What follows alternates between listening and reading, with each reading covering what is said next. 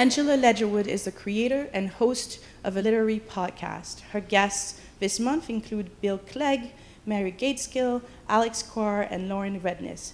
In December, stay tuned for her podcast with Molly Crabapple, right?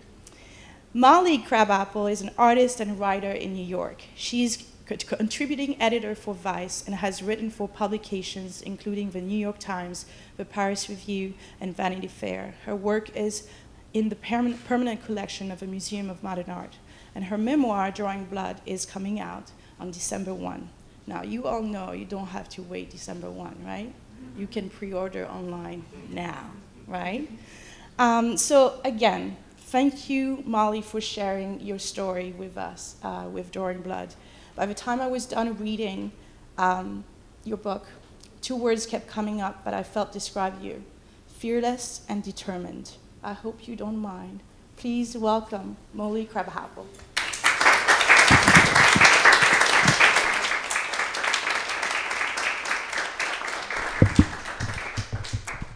Tall people.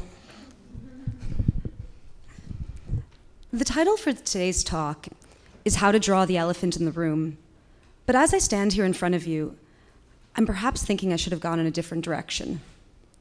Don't get me wrong, man, I love elephants. I've drawn lots of them. They're beautiful and they're steadfast, and who have they ever heard? Except maybe a mouse. But the things that I've drawn over the last three years have not been beautiful. I've drawn ugly things and things that have hurt people very badly. I've spent the last three years traveling around the beautiful and terrible parts of the world, drawing ugly things. So maybe I should have called this lecture Drawing the Emperor Naked, even when he thinks he's wearing clothes. I'm an artist and a writer. I've carved out a niche traveling around the world to prisons and refugee camps, to protest scenes and conflict zones, to places where things are kicking off, and then taking out my sketchpad and documenting them.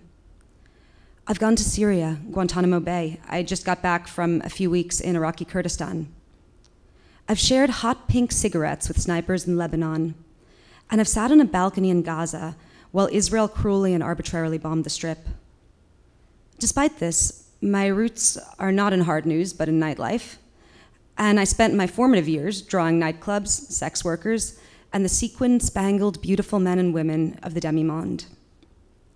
My first book, Drawing Blood, as uh, was so kindly mentioned, is coming out in December. And it's about both these parts of my life as well as what it means to draw really mean pictures of naked emperors. And writing a book was the hardest thing I'd ever done. At a pen DIY, I'm supposed to have some lessons for you, some, some steps, right? And I'm often asked to give lessons and steps. And it always, it always boggles me because artists, right, we're the prototypical freaks of the world. We are the people who are too weird to scale. Our paths are all unrepeatable because we're just too damn strange. And despite the lies of art school, you cannot break down what any artist or any writer does into a four year curriculum that will provide a good education for 500 little mini artists who will come out at the end with a good job. It's impossible. We're too weird. But nonetheless, here's what I've learned, I think, from my freakish, circuitous, difficult, but often fascinating career. I hope it's useful. Step one get into trouble like maybe half you guys here in the room, I was a terrible student. Uh, my mother is here in the audience; she can confirm this. And I was not just a bad student. I, uh, I was an insufferable, really, really pretentious brat too. It's true. But most particularly, there's something in my brain that prevented me from sitting down, looking ahead obediently, and paying attention. If I had had to do that every day, eight hours a day for 10 years, I probably would have preferred to have stabbed a pen into my eyeball. This may be why I never got an office job. So, when I was stuck in the torture of sitting in school, I kept myself busy by drawing. I filled every test and worksheet with drawings. I handed in my algebra exam, my final algebra exam, filled with nothing but mermaids. I, uh, I drew uh, Joseph Stalin's henchmen all across something that was supposed to be for pre-calc. I would have teachers that would hold up my, uh, my worksheets in the beginning of the class and be like, look at the mess Molly made.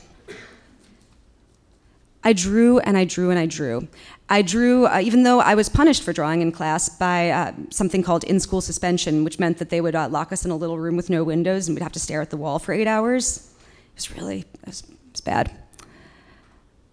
And because uh, white kids who are rebellious get uh, medicalized, while um, black kids who are normal get criminalized, um, I was diagnosed with oppositional defiant disorder, which is. And it's true. It's, it's, I think it's the, uh, the clinical term for being incapable of sitting down and shutting up and refraining from drawing all those mean pictures all over everything. And so I got diagnosed with this. I went to a lot of shrinks. I went to another school. I went back to another school, tried to put me on lithium. I did not get into any good colleges whatsoever. And I was labeled an at risk, troubled girl. But through it all, I drew. I drew and I drew and I drew. I'm not saying this because I think I'm a genius. I didn't draw well. I sucked, actually. I think it, uh, from the time I first started drawing to the time I first did something another human should look at, it was maybe 20 years. But I had this monomania about it, this obsession. For me to draw was like picking scabs off your arm. It was like popping zits or something. I, I mean, it wasn't even good what I was making, but I had to, you know, I, I needed to. And the time that I felt most compelled to draw was when I was least allowed to do it. So, why am I telling you about my failure at conventional education as a lesson? Because I want to tell you something. Despite the lies of other people, art is fucking hard. Art sucks you, if you're an artist, you want to do this because you know what something beautiful is, but it'll be like a decade before you can make that yourself, and every single day to be an artist will just be confronting your own failures and horror shows and little monsters. But you're going to do it anyway because you're an artist, right? And if you don't develop that sort of straight back that it takes to walk up to some authority figure and tell him that he's wrong, how are you ever going to look your own demons in the head? How are you ever going to keep standing upright in the face of constant sneering and rejection? You'll never soldier on until you're actually good enough. Trouble is the best school for an artist. Caravaggio was a criminal, and so was Goya. Criminals are always cooler than obedient graduates of MFA programs with nicely ironed shirts, I think. Though it, the categories aren't mutually exclusive. Being the bad kid teaches you to work for internal compulsion, not external reward. It teaches you to charm and to exist outside the boundaries of authority. It teaches you to draw the emperor with no clothes. Step two be both subject and object. So I mentioned I never, never worked an office job, and that was because during the usual years that people are working day jobs, I worked as a naked model.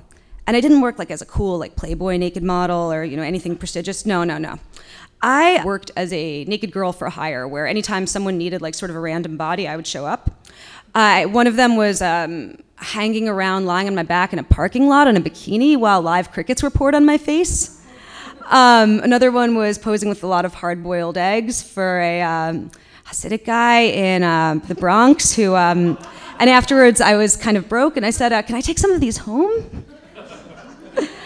Um, I, I, also did some fun gigs like posing as a human statue at a party, or once I actually posed as an artist model for the launch of a bohemian themed liquor, but they couldn't have any artists draw me because they thought artists were too unattractive. So instead, they hired, uh, hired actors to draw stick figures the entire night. It was very meta. Mm-hmm. I, my main work, though, was just posing for endless sleazy guys in endless hotel rooms who really wanted to hire a stripper, but they didn't want to think of themselves as the type of the guy who would do that, and so the camera was the excuse. It was sometimes glamorous, but mostly a grind and a drag, but it paid $100 an hour and it financed my art career. Most importantly, though, this was what gave me the intellectual background to do my work. Standing still, shutting up, contorting in some sort of socially agreed upon uh, notion of sexy, pouting and pretending to look pretty and hiding your hate, it taught me to think harder, to be sharper, to use my pen like a razor. I would think of things in my head during those shoots and I would turn them over and over like rocks in a gem tumbler until they shone. So, art is a paradoxical thing, right? It's half empathy, half objectification. Empathy, because without that, without knowing what's going on on the inside, how can you create anything? But objectification, because you take all that empathy, you take all that spying you've done in someone else's head, and then you put it outwards into a paper product or a book or you know, a big painting, and you benefit from it alone. There's this idea that the male gaze is this special, you know, magic, bad, objectifying gaze, but I think it's bullshit. I think that gaze that's so bad is an artist's gaze because I felt it every time. I think the only reason we associated it with men was because men were the only people who were allowed to look that way.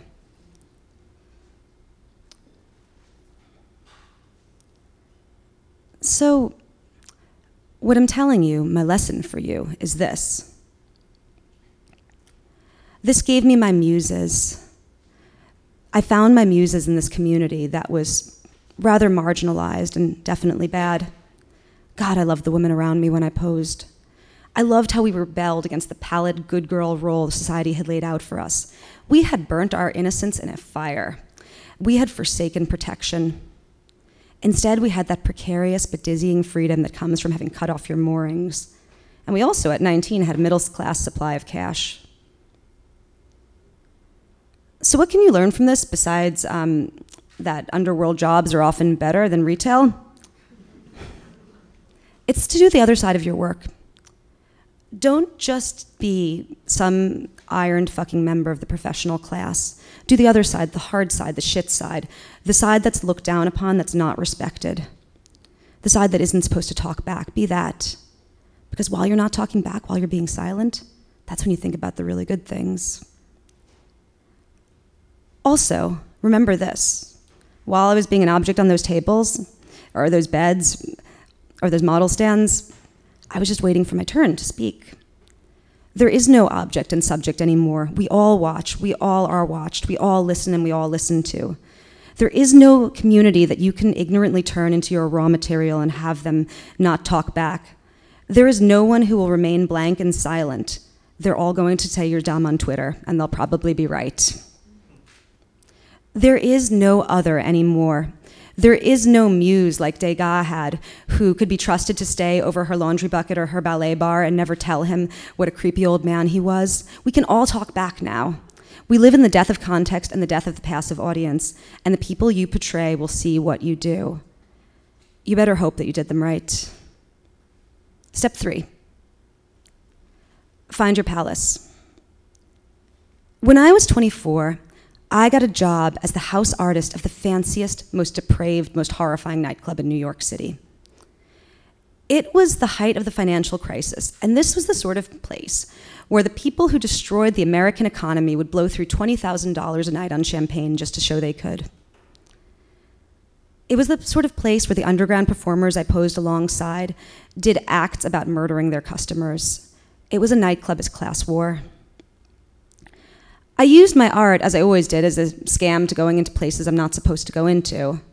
I took out my sketchbook really ostentatiously while I was in the club and I drew. Drawing this way is always a disruptive act. You're producing when you're expected to consume. So I was invited to be the Toulouse-Lautrec of this nightclub, and for years I spent days and days every week sitting on those steps watching, watching these acts of such depravity and violence and beauty and talent.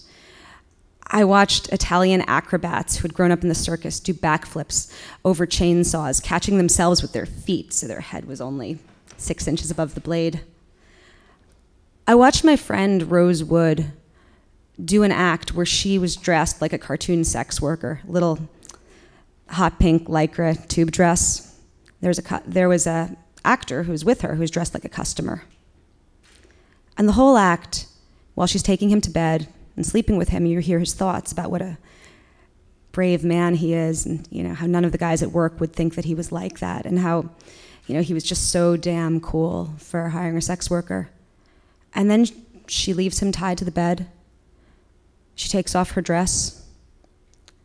She gets a knife. She stabs him to death. She lights the bed on fire.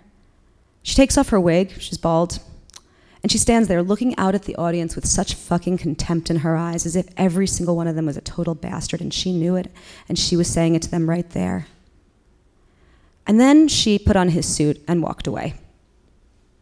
That was the sort of club it was. When the economy crashed, the club started to go a bit down with it. You know, it suddenly looked really bad to spend $20,000 a night on champagne just because it had a little sparkler in it. But they uh, decided to move on to the greener pastures of London, and they brought me with them, where I uh, spent weeks uh, working all night at a construction site, drawing pigs snorting cocaine on the walls of uh, what used to be JoJo's strip club. And it was a funny thing, right? Because I'm essentially doing, you know, I'm doing skilled labor. I'm painting walls. You know, I'm with the construction guys. We're all covered in dust and choking on green stuff that we cough out later, and really, really cold all day. But they're not considered to be anything. They're just considered to be manual labor. They're nothing, whereas I'm supposed to be fucking fancy. But I think it was a lie. Art is blue collar labor combined with metaphysics. It has to be a fusion of the hand and the mind, and anything that demeans them and elevates me is just some sort of classist nonsense that I wanted no part in.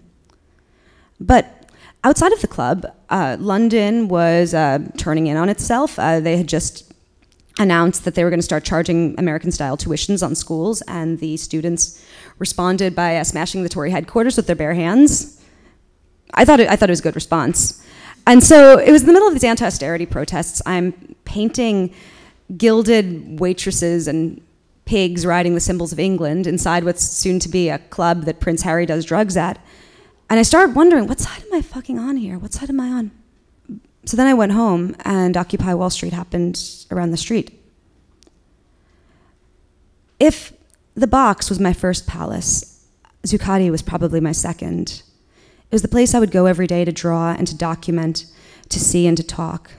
A place that I couldn't even quite believe existed for a while. Since I lived nearly across the street, I turned my apartment into a mini press room. All of the journalists would mooch off of my liquor and use all my power outlets, stay warm there while they're churning out their copy. I would go down each day and draw protesters, and then I would uh, do protest posters in my apartment and uh, give the files to an Occupy, a girl from Occupy, who would later run them off, and they would be on the streets being held by people within three hours. Felt a lot better than any museum I've ever been in. And I would go to every march that I could. And I say palace, right? Even though these are moments in time rather than space, or maybe a fusion, but they were, it was like a palace too. But palaces, that's a funny thing, right? I, I use this word deliberately. A palace is not neutral. In fact, the most famous palace in the world, Versailles, was constructed as a trap. Louis XIV's goal in creating Versailles was to take all of this, these nobility that were holed up on their chateaus, which is just French for fortresses, and were constantly causing him trouble and trying to start wars, and say, and say, no, leave the country, man, leave those places. Go to court. Spend all your money on fancy parties. Any place you love too much, because I'm not criticizing palaces, but any place you love too much can become a trap. It can make you lose your critical thinking, your sharpness, your independence. It can make you just conform to it. Scenes are great, but don't be wholly part of any one of them. Find a place that makes you mad with love, a place that obsesses you and entices you. Do whatever you have to to get into it. And then stay there and betray it. And betray it as an act of worship first. I mean, you love this place, or an act of friendship, an act of love, and, you know, get all of that bullshit out of your system. Then let yourself hate it because every place has flaws and then get that out of your system too. And then go back to it with all that love and all that hate and all that disillusion and all that confusion and all that hope. And see it as the flawed, precious, broken thing that it is, and try to describe it as real as you can. Let all of that hope and disillusion and sweetness change you. See it with real eyes, like you would an old and very dear friend. Step four draw the disappeared through Occupy and uh, my rest at Occupy, I started to segue into writing, and then from there to journalism. Since then, I've gotten this this strange space in my life where I ricochet around the world, uh, traveling from Greece to Guantanamo to wherever to wherever. I focused then, and I do now, on protesters and prisoners, sex workers and refugees people who in the media are usually elided into symbols, but seldom ever seen as individuals. I had always used my art as a lockpick to the larger world. And now it was a way of taking these people and showing them as best I could. Because when you draw something, right, you show that you care about it. Art is so slow and it's so hard to do it well. One project that I did recently was a series of drawings with a young Syrian writer named Marwan Hisham, who had spent a year living under ISIS. He would send me cell phone photos he had taken of the cosplay caliphate, and I would draw from them, and he would write essays. And in a war where every single horror that you could possibly imagine, you know, disemboweled children, everything, you know, chemical weapons, has been documented in cell phone photos, people told me that this had a power that they hadn't seen because it was taking the multiplicity and making it singular. But my first, uh, my first gig drawing the disappeared was probably the most explicit. Um, in 2013, I convinced the military to allow me to go down to Guantanamo Bay.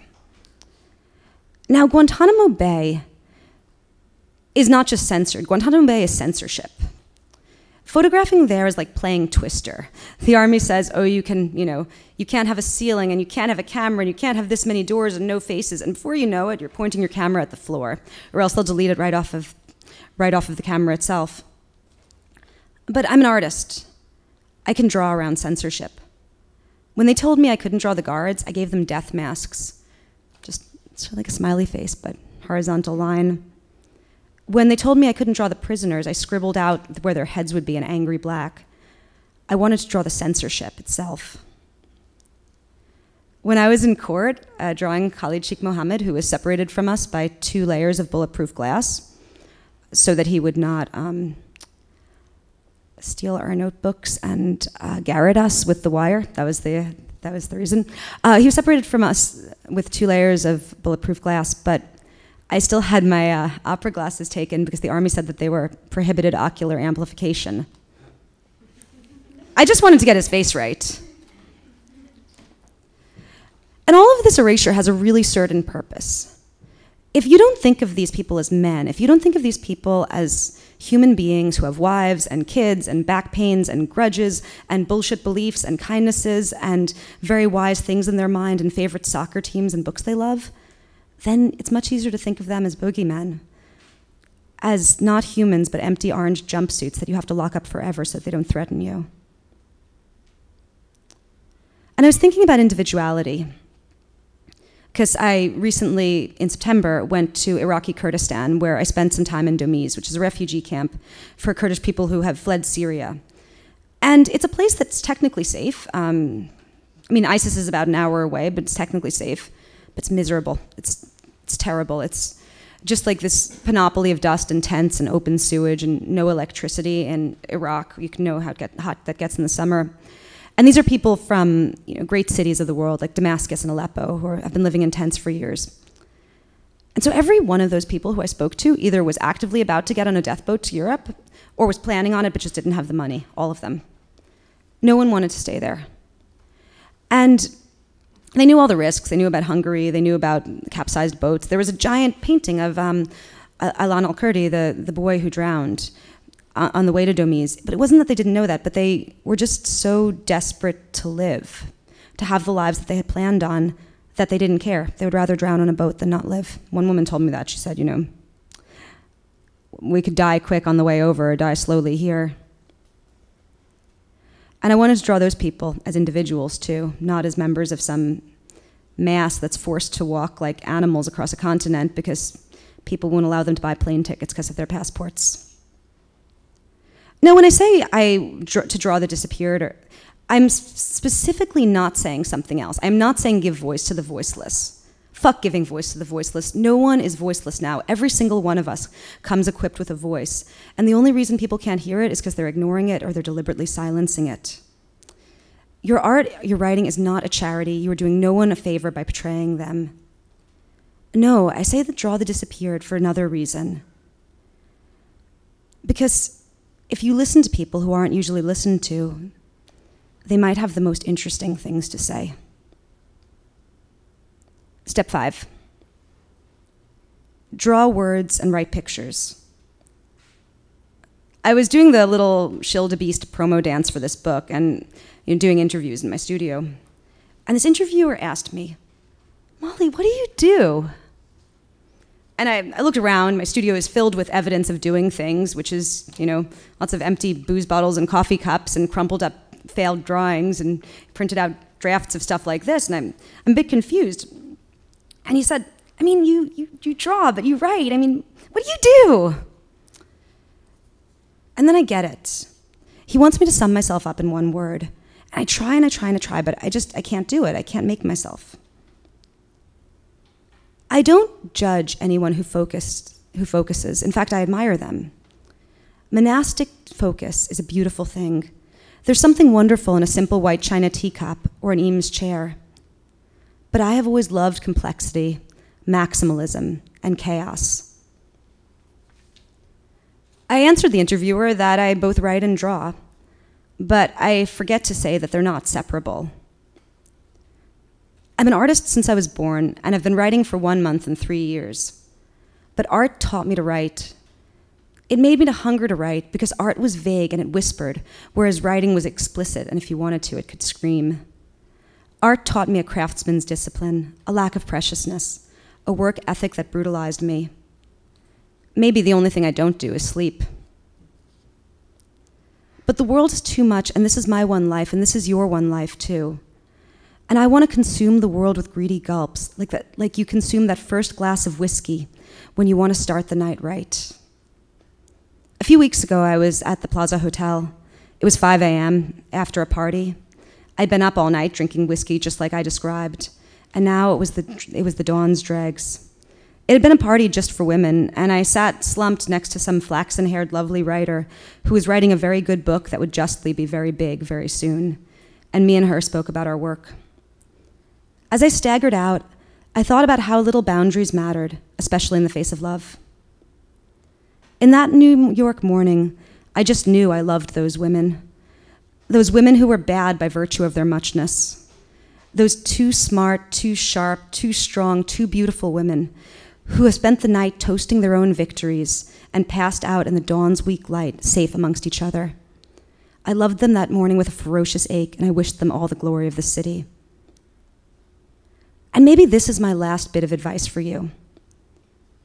Embrace that muchness in yourself. The world, the critics, the bosses, the everything, they want to shape us into branded properties serious or frivolous, intellectual or sexy, this or that. What they will never accept is that we are artists. We are amoral aesthetic gluttons. We are monsters. We are chimeras. We only want to learn and create in this vast, beautiful, terrible world. So, my advice to you fuck them. Fuck their limits and fuck specialization. Fuck deciding this or that. Fuck anything that would confine you. This is your one life, and life is too precious to cut off pieces of yourself. I'm going to end this talk by asking you to do one thing. It might be an art assignment or a life assignment. I don't even know if there's a difference in between them. But it goes like this Draw the emperor naked, or the elephant, or whatever metaphor you want to use. But use your art to question all cops, all bosses, all gods, and all masters, including those inside your head. As you do it, embrace all those jagged bits of yourself, your life, the parts that don't fit, that let you see like no one else ever could. Give up nothing. Don't be afraid. Thank you.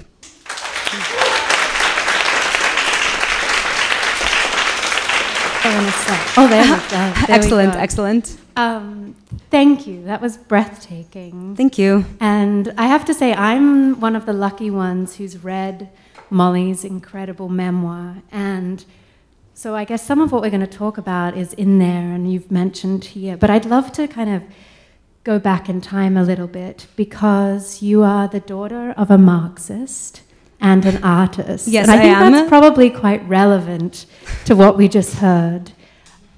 I mean, can you tell us a little more about your childhood and whether did you rebel against your parents or were they encouraging you to rebel?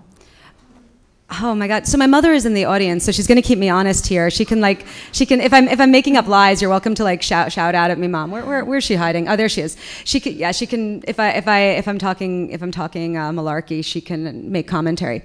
So uh, my mom is amazing illustrator. And my dad is a Latino studies professor who uh, is a Marxist, and when I was growing up, would go to Cuba a lot and would give me books of Che Guevara and Huey Newton. Whereas my mother is an amazing artist. She always drew much better than I did. Um, and I think I just got like a little bit of her talent, but I was a lot more mean. And so when I grew up, the big influence my mom had on me was that typically uh, children think that art isn't something, they think it's something very unpractical, right? That's something very unrealistic. Whereas for me, I mean, art was just my mom's job. It was this totally adult, normal way to make a living, that there was nothing rebellious or like anything about it. It was just that's that's my mom. You know, she she makes art. Uh, she makes illustration. So I wasn't so much rebelling against like who they were. I mean, I always really admired both their parents. I just was really bad at being a child. I think I had this sort of age dysmorphia where in the world I was this like really obnoxious little 11-year-old, but in my head I was so ready to like just go to go to Paris and have big adventures. And so I would constantly like sneak out, cut school, you know, stay out all night at the village Halloween parade. Living near a train station that's close to New York uh, when you're 14 it is the primo adolescence adolescent experience if you can't actually live in the city yourself.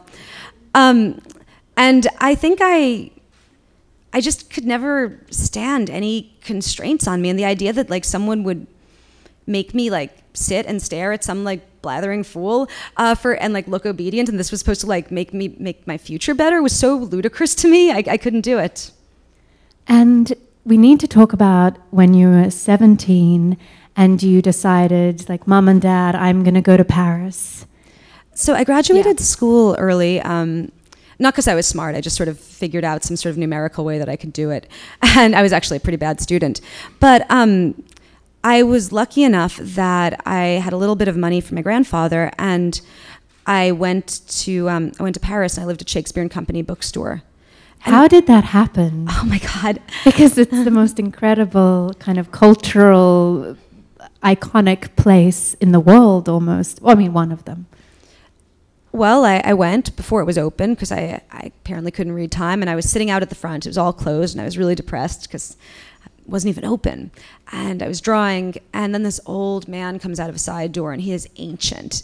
He is this like lined, withered man, and he's wearing sort of like a stained paisley smoking jacket. And he comes up to me, and he starts talking to me, and I realize it's George, the legendary owner. And he says, there's no miracle greater than to be a young girl in Paris in the spring. Be my little daughter. But in a non creepy way. It was totally non creepy. And I'm like, okay. And so um, I, I, moved into the store, and at that point, you it was a really good deal. Um, you could work one hour a day, and it was. I one mean, hour. That's so kind. One, it was so kind, and you had to read a book a day. That was that was the thing. You're supposed to. You're wow. expected to be smart, and um, I was they didn't even have a cash register or like define prices. You'd kind of just lie to people all the time. They, they had a uh, they had a sort of wishing well in the back where we would make up these fantastical stories about how uh, I would bring the tourists luck and then we would take all the money and like buy buy alcohol with it. It was a magical place. I loved that place. It was it was the most like it was this mixture of like the most glorious like high artistic bohemia and like this hustle and scamming which always serves you so well in life ideal. And then in that same trip, is that when you went to Morocco for the first time? It was, yeah. And did your parents know that that was the my, plan? My, mother was no, they didn't know. I, I, I they didn't know that. I, I told my mom. Um, after the fact? Or? No, like 10 minutes before I went, like before I was about to get in the ferry, and she was very um, unhappy with me. Uh, but I, I don't listen to people. is, is, is that accurate, Mum? yes. Well, that seems. I mean, that was your first experience, um, I guess, in a in a brand new culture, let's say, and it seems from reading the book that you were confronted with being a woman there in a way that you never had in America or in Paris. Can you talk a little bit about that? Because I feel jumping, you know, ahead of time to your experiences now, that must have informed. I mean, your whole kind of development as a activist and a woman? Well, I've actually been getting crazy street harassment since I was 11. I mean, I feel like I feel like this is perhaps in, common with a lot of girls who develop early. Like, you're literally like 10 or 11 years old and grown men are screaming at you and following you around and like making sexual propositions to you um, so it wasn't that it was like i had you know been in a place where there was no street harassment and then I went to the Middle East and oh my god all the street harassment it, it wasn't it wasn't like that but it was more because I, I didn't speak the language and I was very unfamiliar with things um, things I, I knew how to judge New York I knew how to judge New York in a way that I didn't know how to judge Marrakesh but um, it also, I mean, it, it made me fall in love with like middle with like Islamic art. It made me, it it totally influenced. Um, I mean, I, I went home and I started studying Arabic afterwards. I'm actually still studying Arabic right now. I'm pretty pretty proud of how my translation skills, even though my conversation is quite lacking. Um, it it was this place that, on one hand, was really hard to negotiate because um, you get so much street harassment, both as a woman and also as like as a Westerner who has money. You know, people want to sell things to, but was also like the most beautiful, intense, and ferociously alive place I I had ever been, and I just wanted to be back there. Like that was that was all I wanted, even though you know, I, I mean, I still remember I. I had my wallet stolen on a train, which I deserved. I left it out. Like the person who stole it, he deserved it more. He deserved it more than I did. I, I, I had nothing against him, but I wanted to get some. Um, I think I wanted to get like some coins, so I could call my mom so she would cancel a credit card. Like it was, it was something. So I go to the, I guess like security on the train, you know, the, the train cop, you know, and I sort of tell him what it is, and he's like, "Oh, you know, tell me about, tell me what happened." And then basically, as soon as we're alone, he tries to like jump on top of me, and I'm like, I had really bad food poisoning. I didn't quite realize what was happening, and then I'm like,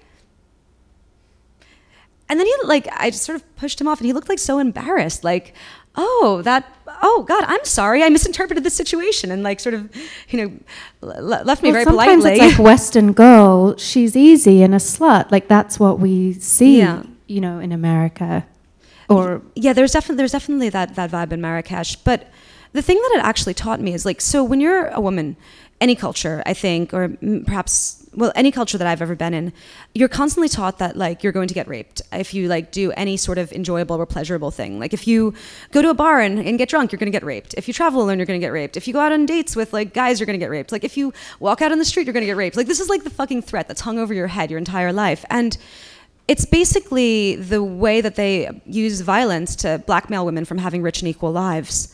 And um, while I've you know been lucky enough that's that's never happened to me, I mean, certainly you know things came close in Morocco, and it I was just like I I would not be willing not to do this, you know, mm-hmm. like the threat of the world's violence is not enough to stop you. Yeah, exactly.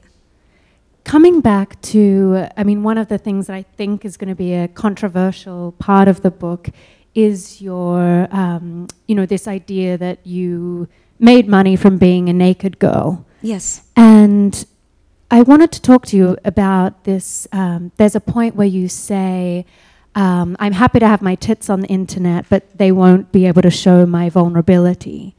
And how, um, and also this idea of um, kind of you wanted to see if you could come out unscathed from this very stigmatized experience. Um, how did you come out of it unscathed? And did you? And yes. Well, go I'm, forth. Oh, the, oh, there's so many. This is such a good question. This is so cool. So, um, well, the first thing is um, saying that I didn't mind. I didn't mind having my tits on the internet, but I didn't want my vulnerability. It's interesting in light of this book because now I have my vulnerability on the internet. Um, I guess it's always, you know, what you think of as public and what you think of as private. Like some people um, think their, you know, deep pain and depression is a public thing that could help other people or that they can make money off of, you know, all, sorts, all sorts of reasons. Some people think their skin on their chest is, you know, it's, there, there are all sorts of different things that you might um, sort of sell about yourself in a late capitalist society or that you make, might make money off of. But for me, when, at that time, I wanted fucking general public. God, I wanted like the entire world, save like four people I was very close to, to have no access to my inner self at all. But um, being topless meant nothing. I was just just being topless. I'm just you know a body like anyone else. Um, in terms of remaining unscathed, so men do this all the time, right? Like the classic narrative of war, right? All cultures, not America, not just America, is like you know, man, he goes off, he goes to war, he tests himself. And like when men get into situations where it's about them emerging unscathed or whatever, it usually involves them killing other people or doing very terrible things or possibly doing that. Whereas with women, um, we're not supposed to be battered around by the world that way. We're supposed to remain intact. Even a society that doesn't fetishize virginity, it fetishizes that sort of purity and intactness. I had a line in my book where I said that the heart was the new hymen. It was the most shameful thing for that a man to break. so interesting, that part. I mean, there are many. But. Um, so women are not encouraged to test themselves and see if they can uh, emerge unscathed. They're encouraged to, uh, you know, to stay and to um, you know preserve themselves. And I, I just, I didn't like that. Like I, I wanted the world is big and frightening and scary and beautiful and horrifying and everything, and I, I wanted to um, see how I held up against it. I guess. And did you? Yeah. Yeah. Yeah. You're here to tell the tale. I mean, uh, the, the, what's that quote? The world breaks everyone, but I don't think it. Like, I don't think it.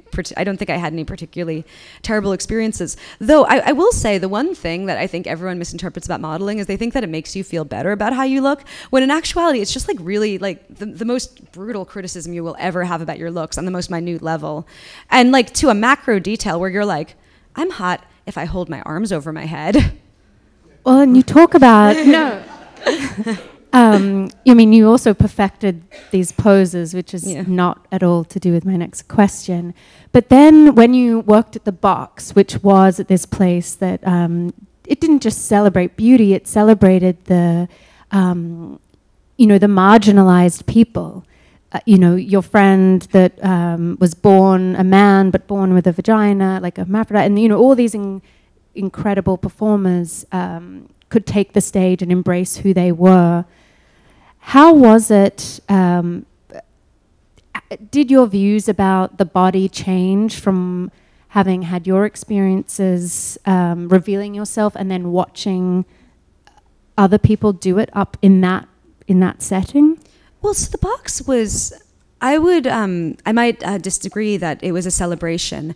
The box was a war. That's what it was. Because um, you had these friends of mine, like like like Buck Buck Angel, the incredible man you're talking about, and they would get up on stage and like the audience who are these just like square as fuck bankers in general and um, people who are paid to pretend they liked them the audience would both be like incredibly attracted to these people but also uh, because it's sort of their social training would be like repelled by them too and also would feel like they were better than them because they had more money. So and the performers likewise didn't like the audience whatsoever rightly so.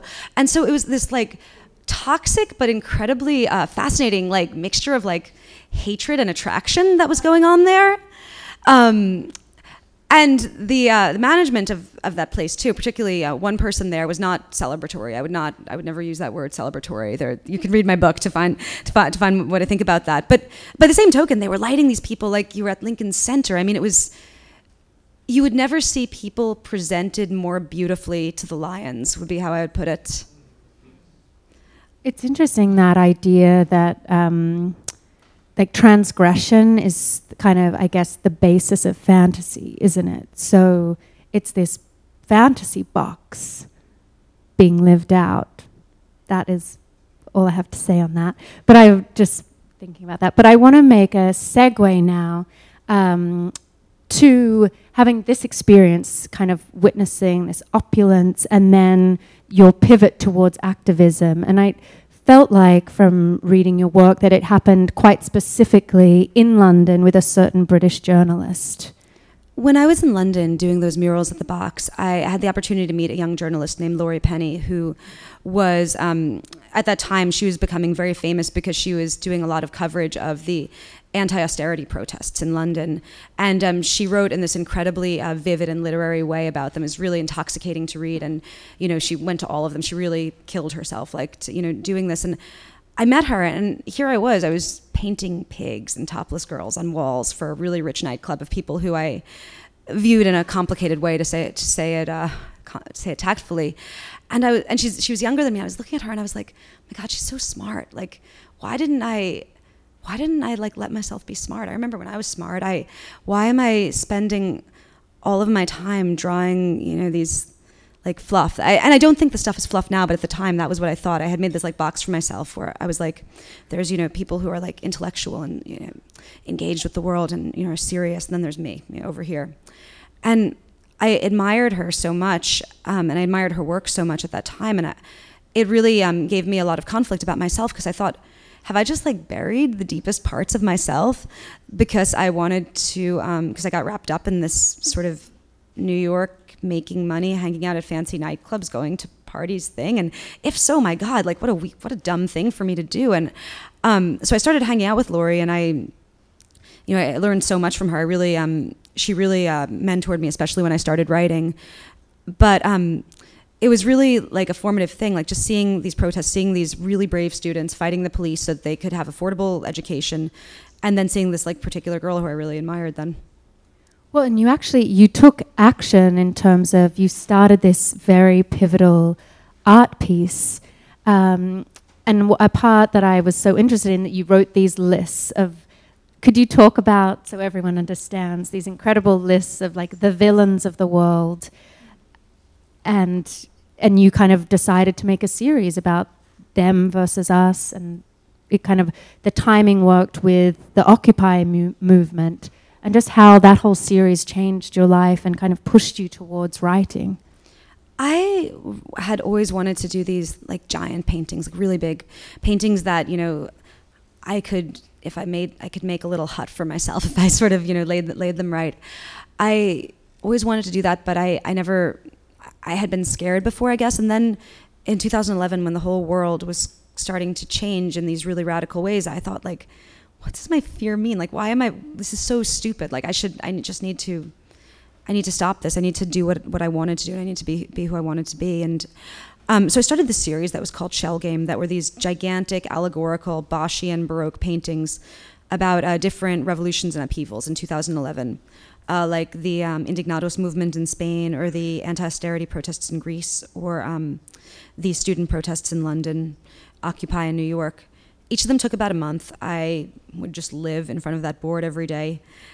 I put every single thing into the uh, language of allegorical animals because I wanted to have something where you weren't really concerned like is it a guy is it a girl like what do they look like I wanted you know just sort of every every man or every mouse as the case were um, and I I made these like massive hyper detailed baroque paintings but when you talk about it being segue into journalism, it's true because I really wanted to get these things right, especially because I was using this sort of surrealist language. And so I interviewed people who were participants in all of these things. I interviewed uh, dissident bloggers from Tunisia, or um, you know protesters in Syntagma Square who had fought the fascists there, or um, you know protesters in London. I spent a lot of time talking to people in New York. I, you know, I, I, researched them and I, I, wrote and I made lists and I, I memorized all the visual symbols. I remember in uh, Greece, this one guy told me that the thing that he remembered most strongly as a visual from the protests is this white stuff called Maalox that you pour over your eyes after you've been tear gassed. So he, he described like these people running around with their like faces sort of whited out or their eyes, you know, like this strip of white over them. And so I, I you know, I drew uh, the main figure of my, my Greek painting, Syntagma Athena. She's like a, a statue of Athena, but she's, she has Maalox over her eyes and she's covered in graffiti because Athens was. Yeah, could you talk a little bit more about Athens because you spent time um, investigating? Is it the Golden Dawn?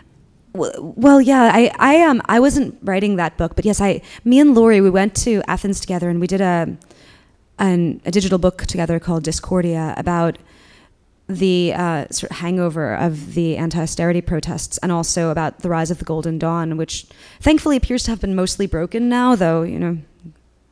And it was kind of a right-wing neo-Nazi movement that, I mean, did they get a third of the votes when... They were the third most popular party, but they earned uh, 60% of the vote of the police, oh. and they were, um, I mean, they were they were a criminal gang that was murdering immigrants is the best way to describe it. And they didn't get cracked down on whatsoever in Greece until they murdered a uh, Greek person or a, a, white Greek citizen. That was what it took for them to um, actually get cracked down on but they had, were running a reign of terror amongst um, immigrants or um, gay people um, but mostly mostly immigrants when I was there.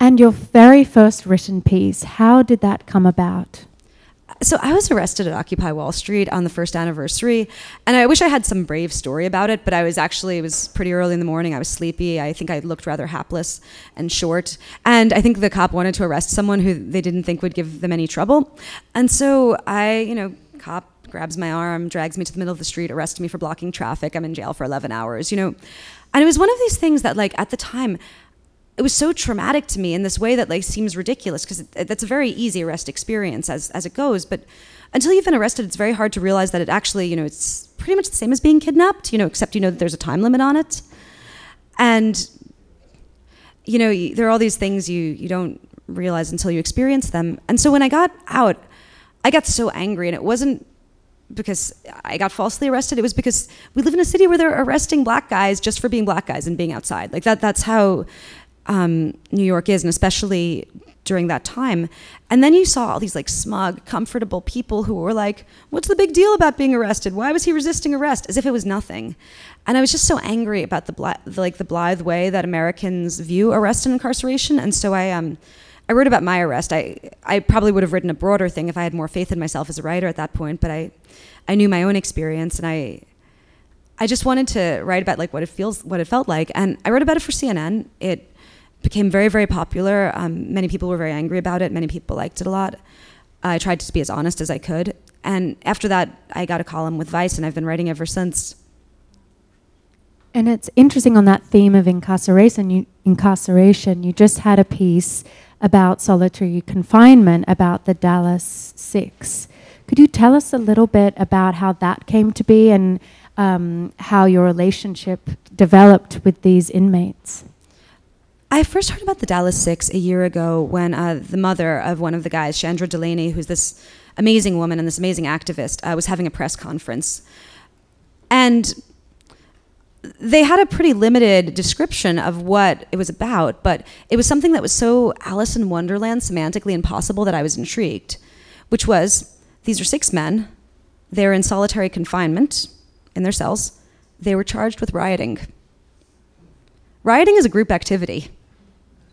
If someone is rioting in their solitary cell, you just leave them there and they get tired. But these guys were being charged with felony rioting, which is something that, you know, seven years in jail. And so I went to the press conference. I started talking to them. And what I learned, or I started talking to Chandra and one of the guys who um, is no longer in jail. And what I learned was that this was a group of six men who um, were long term solitary confinement prisoners. One of them had been in solitary for 14 years, and he was in jail on drug possession, which he, he was arrested when he was 15 and um, then they accused him of trying to escape when he was in when he was in jail, um, which I think is a dubious charge, but nonetheless, 14 years he, he, was in. He's been in so far. He's still in solitary, and so these were long-term solitary confinement prisoners. They were very smart. They were very very politicized, and um, they had been communicating with a local uh, human rights group uh, run by ex-prisoners, documenting uh, human rights abuses and racism by the guards. And the human the group had done like a big report about it, and they sent it at the request of one of these guys, Andre Jacobs, to, to the prison. And the guards used the names of the prisoners who had um, blown the whistle on their abuse as a checklist to abuse them. And what had happened, what led to these guys getting charged with rioting while locked alone in solitary confinement cells, was that one night they were beating up a friend of the guys, and you can hear everything. You can hear everything in that area. It's all metal, and uh, the guy's screaming. And so the the, the Dallas Six hung um, blankets on their cell windows, on the inside of their cell windows. And this was a symbol that a lot of people used in solitary because it was a way that they would get a lieutenant down and then they could speak to them because they wouldn't want to give their grievances to the same guards that they were complaining about. And so Lieutenant Mosier comes down and he says, you know, take those off. And uh, one of the guys, Dwayne, says, we want to speak to our lawyers. And instead of allowing them access to their lawyers or the media or anything they requested, or even you know stopping uh, their abuse of their friend, the they formed teams of six men a, team uh, in riot outfits and um, gas masks, and they filled their cells with tear gas. And these are totally unventilated cells. There's plexiglass covering the windows. And then they came in. One guy had an electrified shield. One guy had a taser. One guy had a baton. They beat the living crap out of these guys, cut off all their clothing, put hoods on their head, and then locked them in other cells soaked in tear gas, and then emergency evacuated them to um, six different prisons. Upon which point, they uh, one of the guys sued them for it because he's a jailhouse lawyer. One of the prisoners like brought a lawsuit for a civil rights violation against the DA, in part. And once the DA was sued, magically they all got charged with felony rioting. And the reason I know all of this is because there's a video of it that the prison made. And um, I, you know, I, I, saw I saw that, and they charged one of the guys. They charged the guy who sued the DA not just with felony rioting, but with seven counts of attacking police office of attacking the officers. That's not in the video. It's just it's an absolute like incontrovertible lie. And um, so I got like so intrigued, and I it took me a while to um, get um, the men who were still incarcerated to talk to me, not because they weren't eager, but because um, if you've ever written to prisoners, you know that it's just like this endless cycle. Like every, they'll, they'll like delay your mail getting to someone for three weeks. Um, you know, just to get on someone's phone list can take a month. Uh, I was um, actually like not they did ev- they wouldn't give me media visits, which meant that I wasn't allowed to take in pencils. And um, at one point, I actually, we, me and my friend Sarah, we had driven all the way out to this jail in uh, Wilkes Barre, and where he was being held pending the trial, and the guard asked me what I was doing, and you know, it was visiting hours. I had my ID, I was allowed, everything's fine. And I say, oh, I'm a reporter. And he calls up his boss, and the boss says, like, don't let her in. She's a reporter. And the only thing that got me in was the guy at the desk said, oh, you know, my boss is a jerk, and you're just a young woman trying to make a living. I'm not going to keep you from doing your job.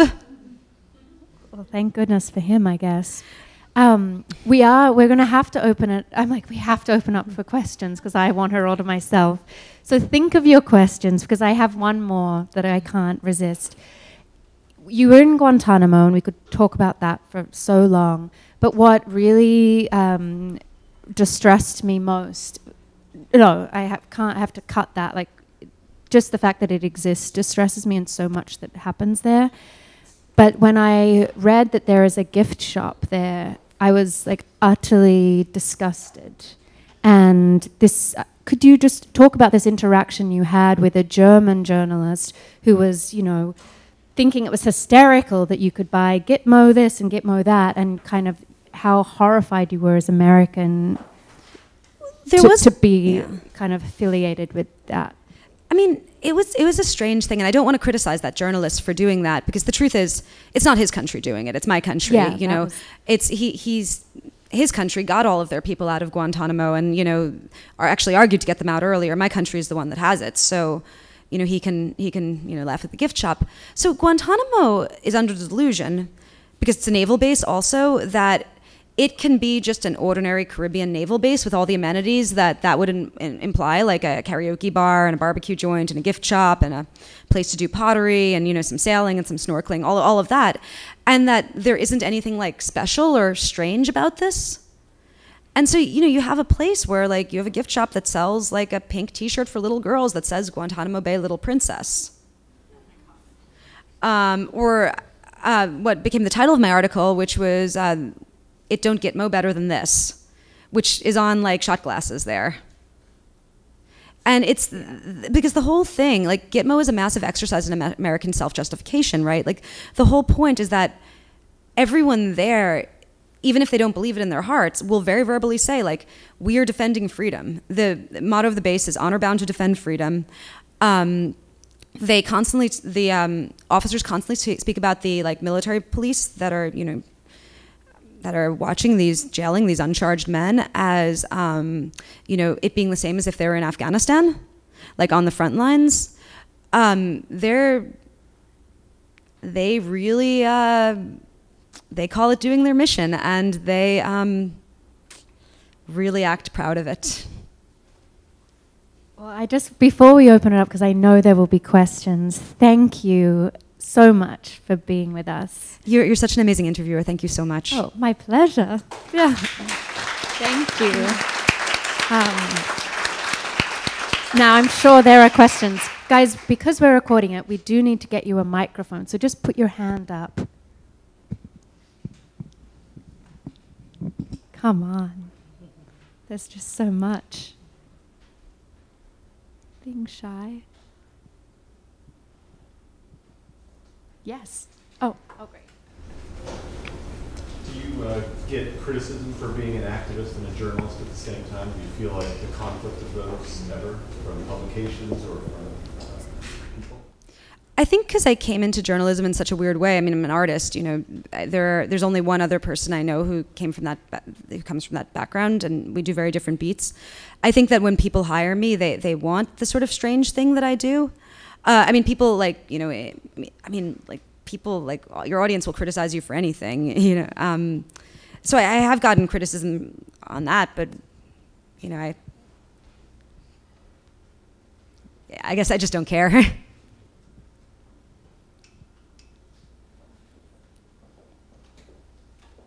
Oh, I'd love to ask you another question. You, we didn't get to talk about this. You've just come back, or recently, from Iraqi Kurdistan. What were you doing there? I was working with Doctors Without Borders. Uh, they had hired me to document their work. And one of the most, um, I mean, I, I, feel so grateful I got to do this as an artist was uh, they have a maternity clinic there, and there was a young Kurdish woman who allowed me to be in the room while she was giving birth and to draw the moment. And um, I mean, I, I, feel so, so lucky. And it was strange because uh, she named her baby Medea, and I don't know what that means in Kurdish, but I'm sure it doesn't have the classical Greek context. I'm 100%. But I was just thinking, like, you're giving, you know, you're giving birth in this like horrible refugee camp, you know, after basically like your country has seen the apocalypse and I would want to name my kid Medea in the classical Greek sense. Like I would want my kid to put a combustible wedding dress upon the world, then like go off in a chariot of flames, you know, driven by snakes. I liked it. Were you drawing? I mean, you were drawing them, but are you writing a piece about that as well? Or when do you yeah. decide to just draw or just write? well, for this one, I was kind of with Doctors Without Borders, so I had a certain amount of art that I had to do for them. Um, I think I want to write a piece though about open borders in general, because I, I just, I mean, the only reason that people are dying in the ocean there is because rich countries won't allow them to buy plane tickets. That's literally it. Because of the little books of paper that they have.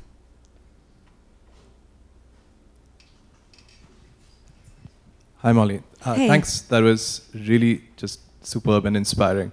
Thank you. Um, so, thinking about the, the kinds of places that you've been traveling to to work, uh, it seems like a tour of the most difficult and demoralizing places on the global landscape, though I'm sure there are many more that we, uh, that we, have, that we don't hear about. So, how do you stop from, from getting demoralized? I would just think that, that, that each of those places would sap you enormously the people there are really cool. Honestly, that that's what it is. It's like I, and also when I when I do a piece, I try to do it from the basis of admiration. Like for instance, um, I did a piece on uh, migrant workers in Abu Dhabi um, who are, you know, construction workers who are working like these really horrible conditions. They're getting fucked over on money, and also it's not just about money. It's also that their labor rights are being denied. Like these guys want to strike. They strike all the time, and every time they strike, they get arrested and deported. And it's um, even more than like oh the poor people it's like oh the people whose rights are being are being you know oppressed by the police but the guy who took me around was this young uh, pakistani construction worker who um, had come from a really blue collar background but he taught himself five languages. He was so smart and so sarcastic and just like so sharp. And i mean he while he was I think that his real motivation was that he was living in a society that was so racist against like a blue collar Pakistani guy. Like they, they were just so they could not they could not believe that he. That, I think that was why he stayed safe. Honestly, that they could not believe that you know a kid like him was like giving stuff to the New York Times and the Guardian. Uh, uh, he actually he he's he's he's out of the country now and he's never coming back, so I can say this. He um put Candy Crush on his phone and he got it so that he could like make Candy Crush go in with a button. And so he would his job was serving tea in an office eventually and so he's like always on his phone and they're like why are you on the phone kabir? And he's like because i'm addicted to candy crush. And then whenever they would come to look he would he'd be like texting like the new york times and then they'd come over to look and he'd press this button and it would be candy crush.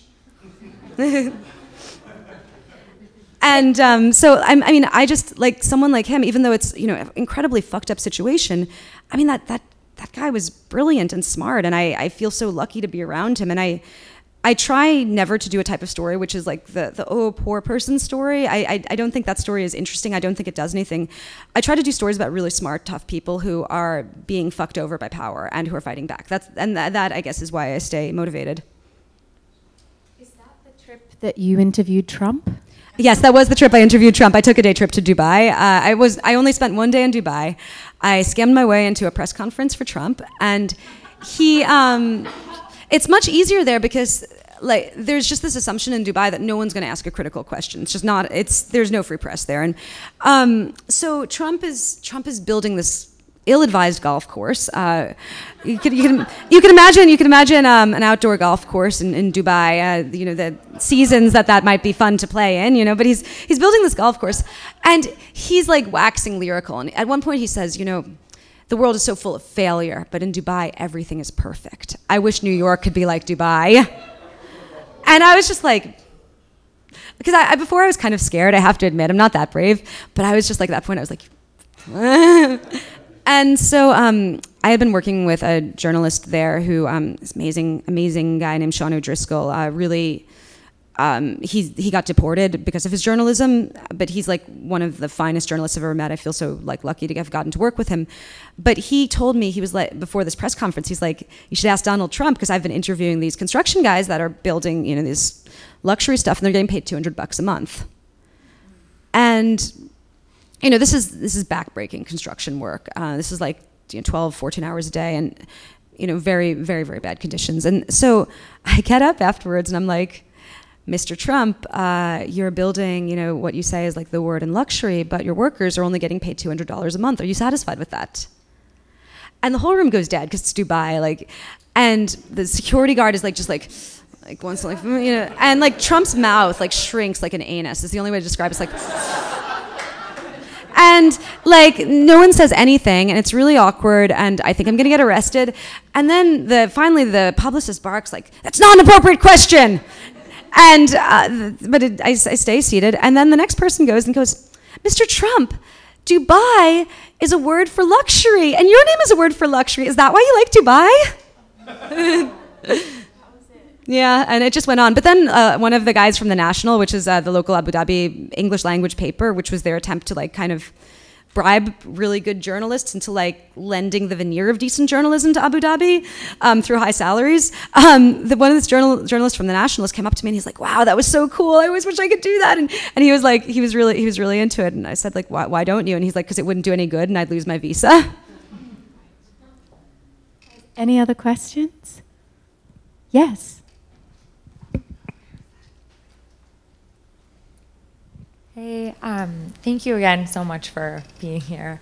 Um, I guess the question that I had for you was, you know, when when reading a lot of your pieces for Vice, I think, um, you know, for me, what makes them really powerful is, you know, not only the portrayal of a lot of the the people who you know are actively silenced and ignored, but you know, to your point about um, portraying the emperor with no clothes when they don't know yeah. that they don't have any clothes.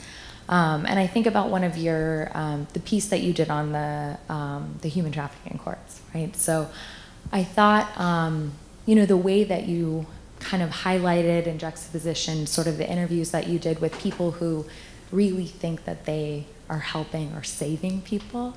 Um, and I, I guess I just wondered if you could talk a little about the process of doing that, like when you are in different places or you are, um, you know, interviewing folks who, um, you know, aren't self-aware perhaps in that way or really do you know believe that they are doing something that that's helping even though you see the impact you know how harmful it is like how you balance kind of showing that when you're trying to make a particular point.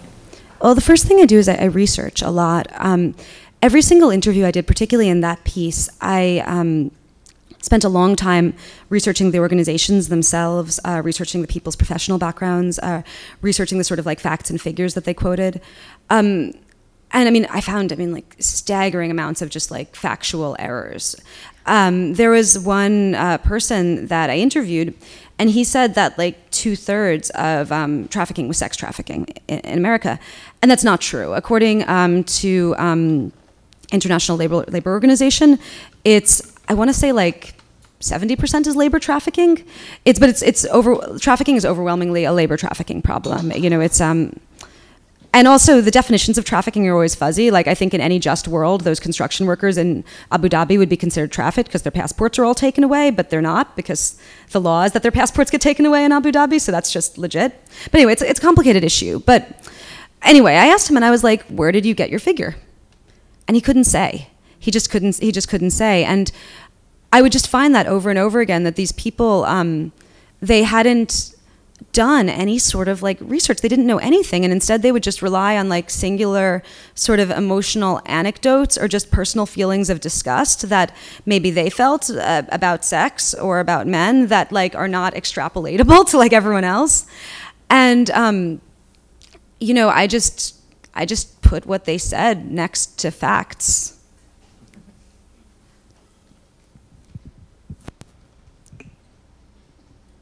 Guys, I think, oh, I think we've gone over, which is always a great sign. But thank you so much. This was such a pleasure. Thank you so much, guys, thank for coming. For coming. Thank you very much.